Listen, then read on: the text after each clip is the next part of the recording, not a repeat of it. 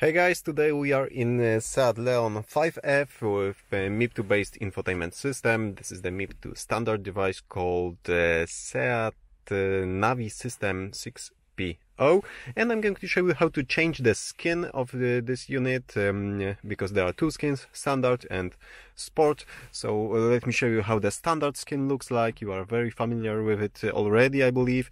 And uh, just keep in mind that um, this uh, change will be made in the hidden menu, which you need to enable first. I've already made a video about it. It's linked over here and in the description below this video. You'll need a diagnostic tool like OBDeleven or VCDS. Okay, so press and hold the menu button for about 10 seconds and uh, wait for the uh, hidden hidden menu. This is the first level, the service mode, and after few additional seconds you should get into the even more hidden menu called test uh, test menu. Over here you are looking for option called HMI uh, skin change